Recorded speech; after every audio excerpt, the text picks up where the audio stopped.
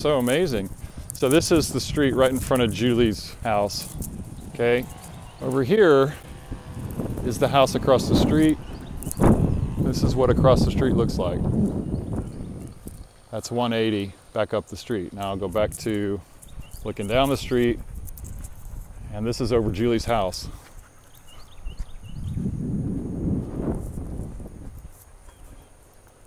And then back down the street, the 180. Julie's house is right here. There's the clouds right above where I just watered. And then they spread, you know.